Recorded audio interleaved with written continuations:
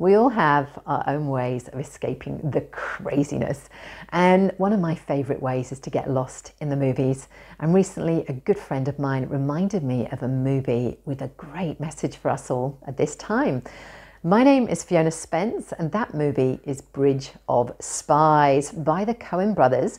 It starred Tom Hanks, who played an American lawyer called James Donovan. It's based on a true story where Donovan is sent to Germany to defend a Soviet man accused of spying. That man's name is Rudolf Abel.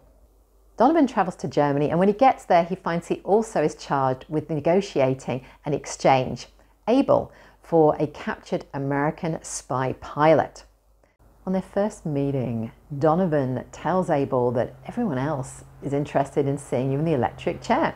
And Abel very calmly responds, All right. And Donovan says, But you don't seem alarmed. And Abel just sits there calmly and says, Would it help? And later on in court, again, Donovan is amazed at how calm Abel is. You don't seem worried, he says to him. Would it help? Abel responds.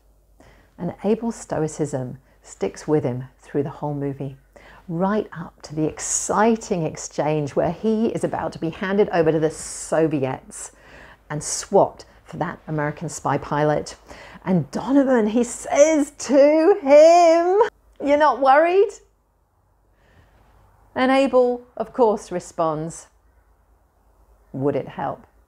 And this was despite the fact that it was quite likely that Abel was going to be shot by the Soviets. You can't always control what life throws at you, but you can control the way that you react to it. So, next time you find yourself worrying, press pause and ask yourself, is this worrying helping me?